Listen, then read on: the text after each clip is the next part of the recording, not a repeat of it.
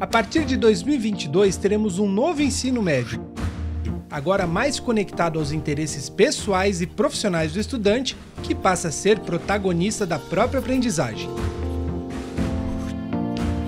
As mudanças são estabelecidas pela Lei 13.415 de 2017 e por isso são obrigatórias para todas as redes e sistemas de ensino do Brasil.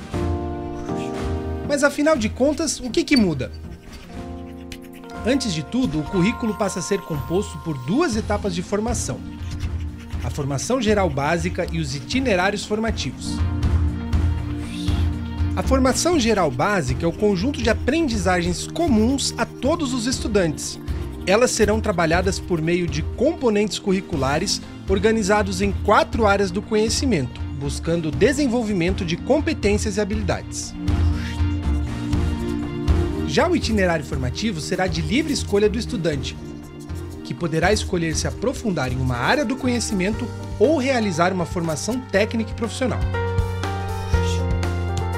A formação geral básica e os itinerários formativos buscam desenvolver no estudante as dimensões física, intelectual, cultural, social e emocional, estimulando assim a autonomia e o protagonismo para a construção de um projeto de vida e a realização de escolhas pessoais e profissionais. Com todas essas novidades, o ensino médio passa a ter um total de 3 mil horas distribuídas ao longo das três séries do ensino médio, sendo 1.800 para a formação geral básica e 1.200 para os itinerários formativos. Gostou? Então acompanhe os próximos episódios sobre o novo ensino médio paranaense e fique ligado nas nossas redes sociais.